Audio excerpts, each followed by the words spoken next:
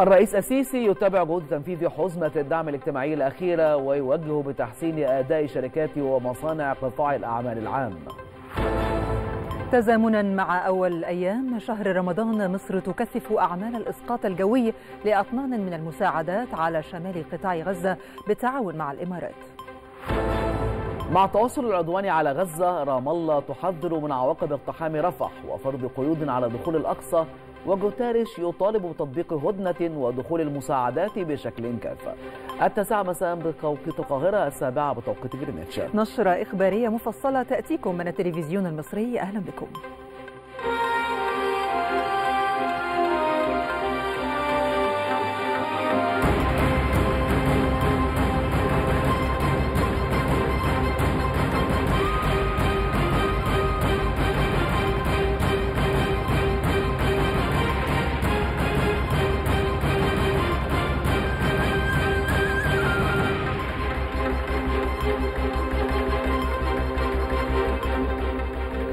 أجرى الرئيس عبد الفتاح السيسي اتصالا هاتفيا مع سلطان هيثم ابن طارق آل سعيد سلطان عمان. وأوضح المتحدث الرسمي باسم رئاسة الجمهورية أن الزعيمين تبادلا أخلص التهاني بمناسبة حلول شهر رمضان الكريم. وقد أعرب الرئيس السيسي عن تمنياته للشعب والقيادة العمانية الشقيقة بأن يعيد الله عز وجل عليهم الشهر الكريم بكل الخير والتقدم. وهو ما ثمنه جلالة السلطان معربا من جانبه عن خالص امتنانه للرئيس السيسي ومتمنيا لمصر وشعبها دوام الخير والازدهار. كما أجرى الرئيس عبد الفتاح السيسي اتصالا هاتفيا بالعاهل الأردني الملك عبد الله الثاني وأوضح المتحدث باسم رئاسة الجمهورية أن الزعيمين تبادلا أطيب التهاني بمناسبة حلول شهر رمضان المبارك داعين المولى عز وجل أن يعيده على البلدين الشقيقين بالخير واليمن والبركات وأن يحفظ شعبيهما والأمتين العربية والإسلامية من كل سوء ويرزقهم الأمن والاستقرار والرخاء.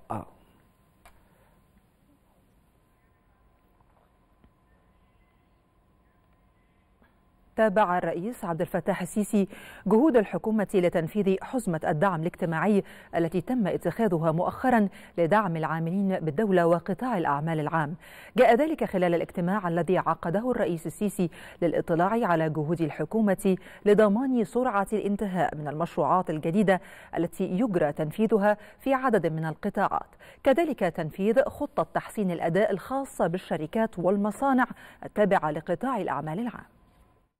اجتمع السيد الرئيس عبد الفتاح السيسي مع الدكتور مصطفى مدبولي رئيس مجلس الوزراء والمهندس محمود عصمت وزير قطاع الأعمال العام. وصرح المتحدث الرسمي باسم رئاسة الجمهورية أن السيد الرئيس اطلع خلال الاجتماع على جهود الحكومة لتنفيذ حزمة الدعم الاجتماعي التي تم اتخاذها مؤخرا لدعم العاملين بالدولة وقطاع الأعمال العام. وذلك في ضوء القوانين المنظمة التي أقرها البرلمان بهدف التخفيف عن كاهل المواطنين والسعي لاحتواء آثار التحديات الاقتصادية والتقليل من حدة تأثيراتها. كما اطلع السيد الرئيس على جهود الحكومة لضمان سرعة الانتهاء من المشروعات الجديدة التي يجري تنفيذها في عدد من القطاعات منها الدوائية والسياحية والغزل والنسيج والتشييد والصناعات الكيماوية والسيارات الكهربائية. بما يسهم في تلبية احتياجات السوق المحلية ورفع معدلات التصدير في إطار توجه الدولة لدعم الصناعة الوطنية وزيادة الاعتماد على المنتج المحلي. وأضاف المتحدث الرسمي أن الاجتماع تناول في هذا الصدد الموقف الحالي للمشروعات في مختلف مراحلها التنفيذية ومدى توافر مستلزمات الإنتاج وكذلك موقف مشروعات الشراكة مع القطاع الخاص وجهود الترويج للفرص الاستثمارية في مختلف الأنشطة والقطاعات. وقد وجه السيد الرئيس في هذا الصدد بالاستمرار في تنفيذ خطة تحسين الأداء الخاصة بالشركات والمصانع التابعة لقطاع الأعمال العام ومواصلة برامج التدريب ورفع كفاءة الموارد البشرية وتطوير السياسات التسويقية للشركات للنهوض بحجم المبيعات المحلية وتعزيز الصادرات إلى جانب التركيز على الشراكة مع القطاع الخاص بما يعزز جهود التقدم والتنمية في مصر. أكد رئيس مجلس الوزراء مصطفى مدبولي حرص الحكومة على المضي في تنفيذ وثيقة سياسة ملكية الدولة والتي تستهدف تعزيز دور القطاع الخاص في الاستثمار وضمان الإدارة المثلى لأصول الدولة وذلك في إطار برنامج الإصلاح الهيكلي للاقتصاد. وخلال اجتماع لمتابعة جهود دعم تنفيذ وثيقة سياسة ملكية الدولة استعرض مدبولي جهود التعاون مع شركاء التنمية وفي مقدمتهم البنك الدولي بما يعمل على دعم الحوكمة والتطوير بالشركات المملوكة للدولة بهدف تنفيذ العمل بها ورفع درجة تنافسيتها.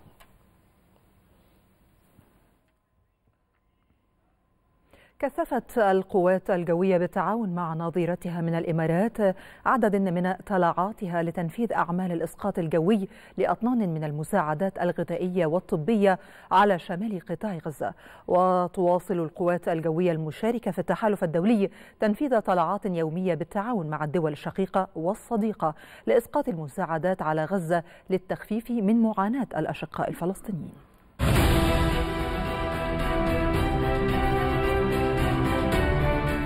بتوجيهات من السيد الرئيس عبد الفتاح السيسي رئيس الجمهورية القائد الأعلى للقوات المسلحة وبالتزامن مع أول أيام شهر رمضان المبارك كثفت القوات الجوية المصرية بالتعاون مع نظيرتها من دولة الإمارات العربية المتحدة من طلعاتها من مطار العريش لتنفيذ أعمال الإسقاط الجوي لأطنان من المساعدات الغذائية والطبية على شمال قطاع غزة.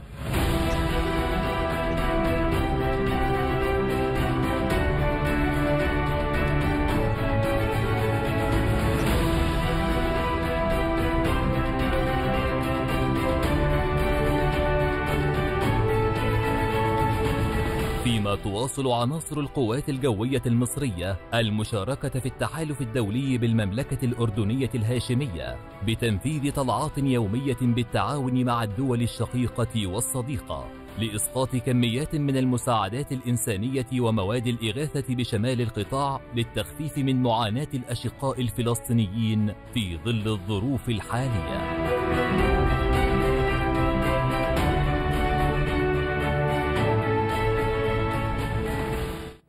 نظمت القوات الجوية زيارة لعدد من القادة والمحاربين القدامى وعدد من أسر الشهداء لمتحف القوات الجوية وذلك تزامنا مع احتفال مصر بيوم الشهيد والمحارب القديم. وتضمنت الزيارة جولة تفقدية بالمتحف. استمع خلالها الحضور إلى شرح مفصل لمكونات المعرض الذي يضم سردا تاريخيا لبطولات القوات الجوية أعقبته جولة داخل المعرض الداخلي للمتحف. في إطار الرعاية التي تقدمها وزارة الداخلية لأسر شهداء الشرطة نظمت الوزارة زيارة لهم إلى عدد من الأماكن السياحية والأثرية. كما نظمت احتفالات لهم من منطلق تحقيق التواصل معهم ودعمهم ومساندتهم. ولسه بحس بيك جنبي في كل مكان وصوتك في المكان بفضل تضحيات الشهداء يعيش الوطن في أمن واستقرار منطلقا نحو البناء والتنمية. لذلك كان التقدير المتواصل من الدولة ووزارة الداخلية لهذه التضحيات والحرص من القيادة السياسية على تقديم الدعم والمساندة لأسر الشهداء الذين ضحوا بدمائهم من أجل الوطن.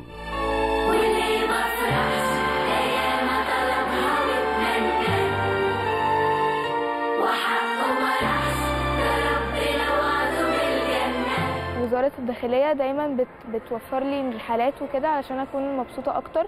وحاسة إن بابايا قاعد معايا. نشكر جدا سيادة الرئيس عبد الفتاح السيسي على الرحلة اللي عاملها لنا الجميلة دي للمتحف المصري.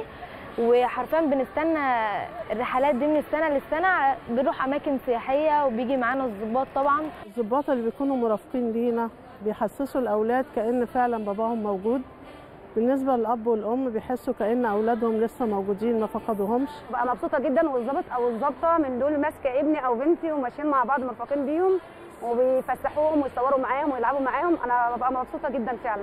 الرئيس عبد الفتاح السيسي هو اللي مخلينا آه، جوزي ما ماتش وعيالي مش يتم وأنا مش أرملة. وحقه ما ده ربنا وعده بالجنة. وليا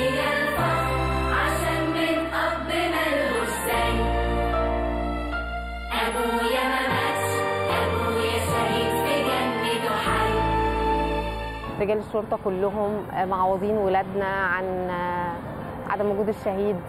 اهتمامهم ورعايتهم في مدارسهم وفي دراستهم وفي, كل الحاجات الترفيهية في كل المناسبات هم معانا. اليوم النهارده جميل جدا وولادي والأسر الشهداء كلها مبسوطين. أحب أشكر وزارة الداخلية آه، على تعبها معانا بصراحة ويعني اهتمامها بأسر الشهداء. وبحب أشكر قوي قوي قوي الرئيس لأن هو بصراحة كتر ألف خيره مش سايبنا ومهتم بينا قوي. أنا بحب الرئيس عبد الفتاح السيسي اللي هو بيخرجنا في امكنه زي دي بيودينا في امكنه زي دي عمرنا ما رحناها. وحشني يا بابا ووحشني الكلام وياك.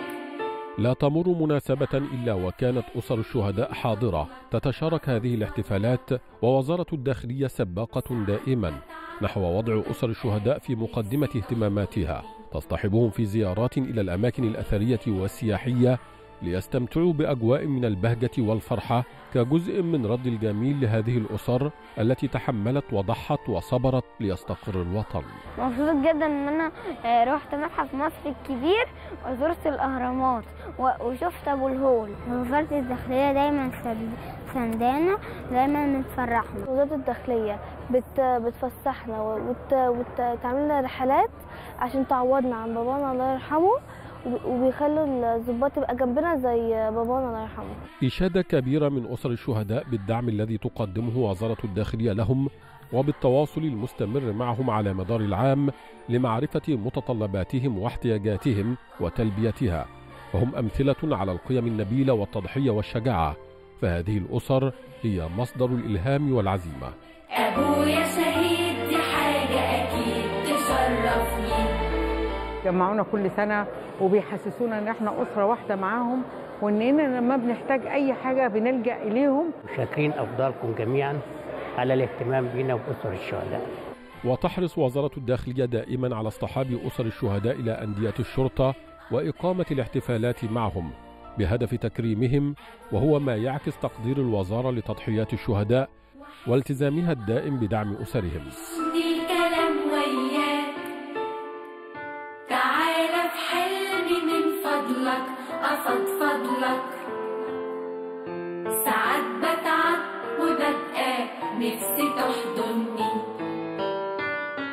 وشهدت هذه الاحتفالية حضورا لعدد من الشخصيات العامة التي حرصت على الحضور لتكريم أسر الشهداء. ولسه بحس بيك جنبي في كل مكان. وصوتك في المكان بيرن ولسه بحن. تهدف هذه الفعاليات إلى تخليد ذكرى الشهداء الذين سطروا بأرواحهم وتضحياتهم استقرار الوطن وتكريم أسرهم لتعميق روح الولاء والانتماء الوطني. وترسيخا لقيم التضامن مع هذه الأسر أبويا شهيد دي حاجة أكيد تشرفني. اهتمام واضح توليه القيادة السياسية لأسر الشهداء. في هذا الإطار فإن وزارة الداخلية تقدم الدعم والمساندة لأسر شهداء الشرطة في كل المجالات وفي كافة المناسبات في تأكيد واضح على أهمية التضحيات التي قدمها آباءهم في سبيل استقرار وأمن الوطن.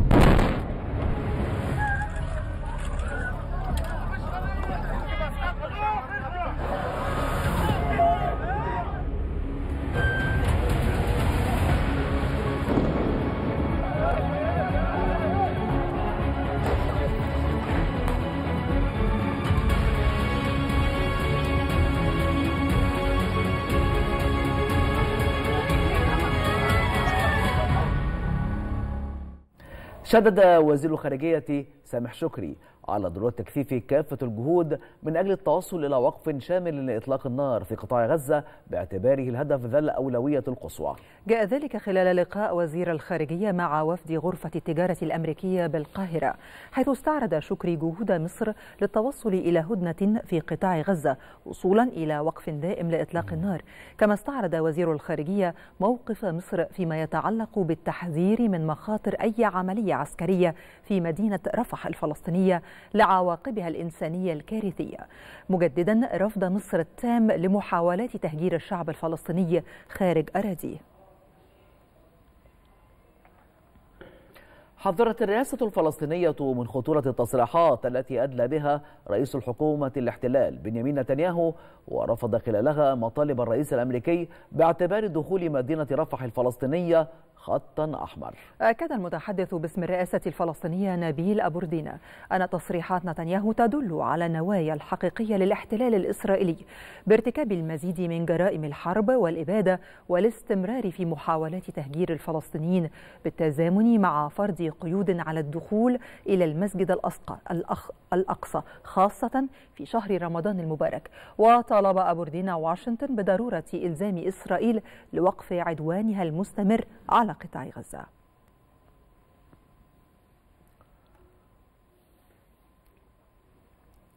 أبدى الأمين العام للأمم المتحدة أنطوني جوتاريش تضامنه مع سكان غزة في رسالة وجهها للعالم مع بدء شهر رمضان المبارك. وطالب الأمين العام للأمم المتحدة بضرورة تطبيق هدنة في غزة وإطلاق سراح المحتجزين وتذليل العقبات أمام تسليم المساعدات المنقذة للأرواح في قطاع غزة محذرا من أن الهجوم الذي تهدد إسرائيل بشنه على رفح قد يدفع الفلسطينيين إلى دائرة أعمق من الجحيم.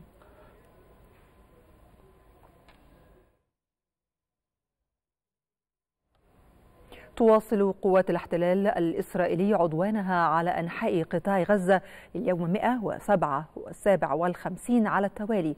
وارتكبت اليوم عددا من المجازر راح ضحيتها عشرات الشهداء والمصابين. وشنت قوات الاحتلال غارات على شمال وشرق خان يونس وشرق مدينة رفح جنوبي القطاع واستهدفت بوسط قطاع غزة مناطق البريج والمغراقة وجحر الديك. كما استهدفت الغارات جنوبي الزيتون بمدينة غزة ومحيط منطقة الاتصالات غربي المدينة.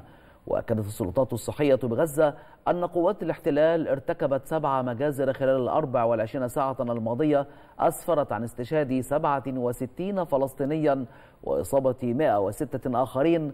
كما أعلنت السلطات الصحية ارتفاع عدد ضحايا العدوان على القطاع إلى 31112 شهيدا و72760 مصابة.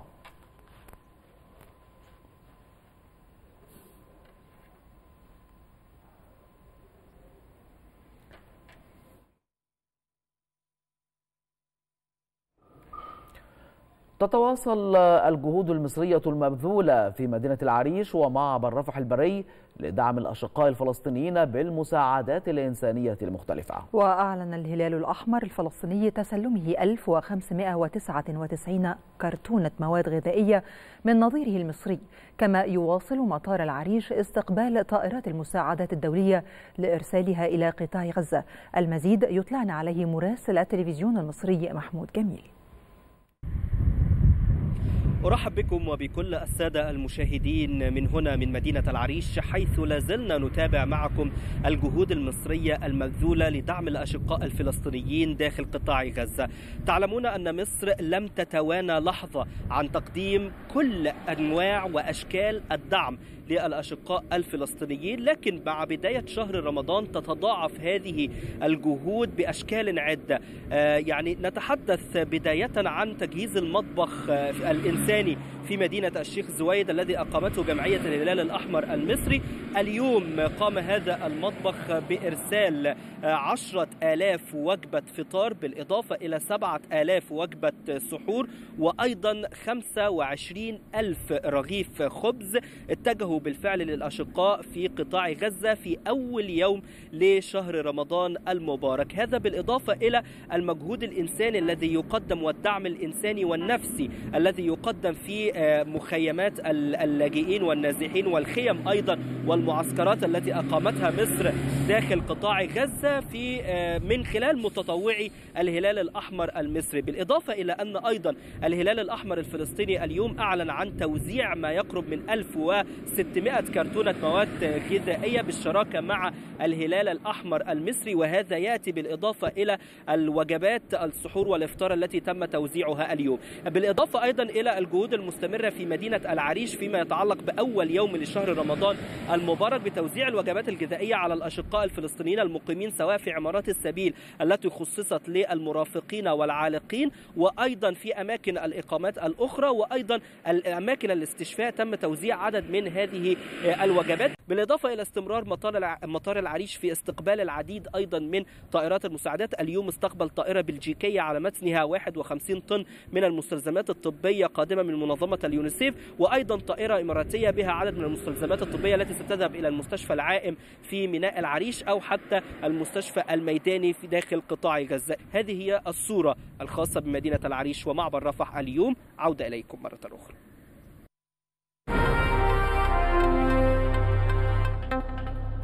قال الفريق أول ركن ياسر العطا مساعد القائد العام للجيش السوداني أنه لن تكون هناك هدنة في السودان خلال شهر رمضان ما لم تغادر قوات الدعم السريع المواقع المدنية. وشدد عطا على ضرورة ألا يكون لقائد قوات الدعم السريع أو لأسرته أي دور سياسي أو عسكري في السودان في المستقبل مؤكدا أنه لا توجد هدنة في رمضان إلا إذا نفذت قوات الدعم السريع اتفاق جدة المنازل والأعيان المدنية.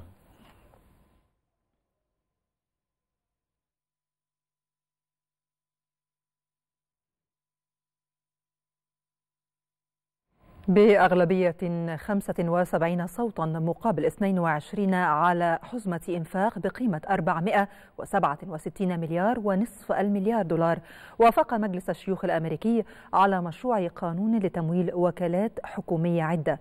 جاء ذلك قبل ساعات فاصلة من إغلاق جزئي للحكومة الاتحادية في الولايات المتحدة الأمريكية.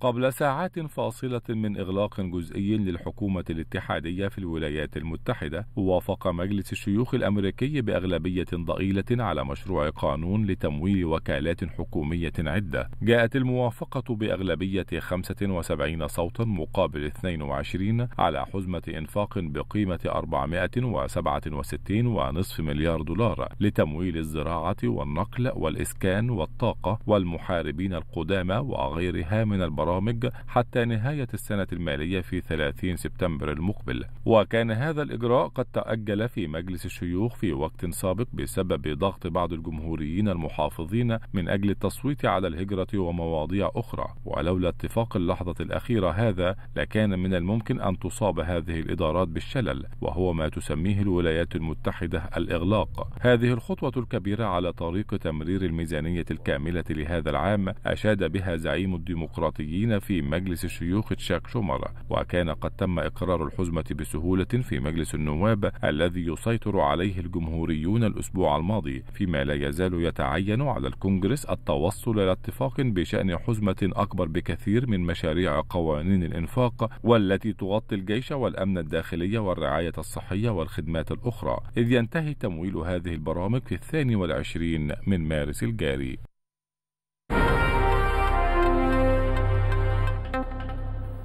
عبقرية موسيقية غير مسبوقة أثرت في الحياة الفنية لمصر منذ مطلع القرن العشرين ولعقود طويلة وكان نتاجها ألحانا خالدة في وجدان الشعب المصري والعربي. إنه الموسيقار محمد عبد الوهاب الذي يفتح متحفه أو يفتح متحفه أبوابه للجمهور مجانا لمدة أسبوع احتفالا بذكرى مولده في مارس من كل عام. بمجرد أن تضع قدمك داخل معهد الموسيقى بوسط القاهرة تأخذك طرقاته إلى زمن الفن الجميل فترى على يمينك ويسارك عباقرة الموسيقى المصرية حتى تصل إلى بوابة موسيقار الأجيال محمد عبد الوهاب. ومن غير ليه ستجد نفسك تسافر وحدك وسط نوة موسيقية وألحان شغلت الماضي وعلمت الحاضر والمستقبل. أنا في البداية بدأت إن أنا بعزف عادي مقطوعات صغيرة. أنا كنت بألفها على البيانو. فبعد كده لما لقيت إن أنا بعملها كتير فحبيت الموضوع بتاع البيانو وخليت بابا يشترك لي هنا عشان أتعلمه. وكان هدفي إن أنا أطلع يعني pianist كبير. الموسيقى فعلا غذاء الروح زي ما بيقولوا لأن هي بتخليك يبقى عندك مشاعر وطنية أو إن أنت مثلا مشاعر رومانسية أو ما إلى ذلك. فأنا كان عندي session تدريب النهارده لابني وعرفنا كمان إن في الاحتفالية بذكرى عبد الوهاب. فبدأنا إن إحنا نيجي نزور المتحف ودي كنت أول مرة يعني إن أنا أجي المكان ده. وبصراحة المكان جميل جدا إن هو من التراث يعني مكان أثري قديم وفي نفس الوقت بيحتفظ بحاجات مرتبطة بالعباقرة بتاعة الموسيقى في مصر يعني. ولد عبد الوهاب في الثالث عشر من مارس عام 1902 وتبناه أمير الشعراء أحمد شوقي ثم ظهر تفرد موسيقار الأجيال في كتابة النوة وتلحينها وبرزت موهبته أيضا في الغناء والتمثيل حتى وصل للعالمية. وبمناسبة ذكرى ميلاده يفتح المتحف أبوابه لجمهور محبيه بالمجان لمدة أسبوع. ويشتمل المتحف الذي يعد نسخة من بيته على غرفة خاصة ليستمع فيها الزائرون لألحانه وأغانيه الفريدة من أغاني وطنية وقصائد ومواويل ووهبيات وغيرها من الألحان. يستحي أن يهتف الفن به وجمال العبقريات الحياء هكذا قال عنه أمير الشعراء أحمد شوقي لكن هذا ليس إلا قطرة وسط بحر من الإشادات المحلية والعالمية لفنان أغنى الموسيقى وأثراها بمزج شرقي وغربي متناغم. كريم بيبرس التلفزيون المصري.